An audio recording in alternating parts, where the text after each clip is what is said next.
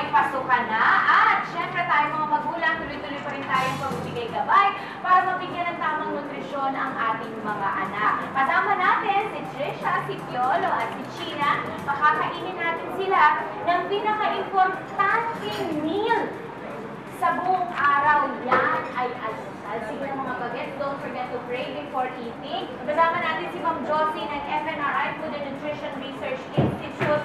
Uh,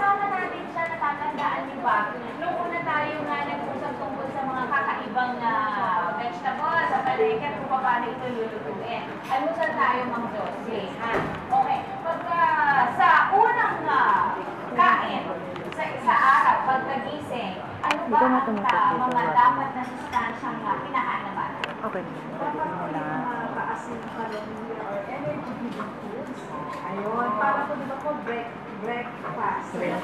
Yes, breaking the fast para po may energy sila pagpasok sa school and then uh, sila may energy para sumagot sa mga Nasusustain. lessons. Yun. So ano ba yung mga maraming enerhiya na pagkain?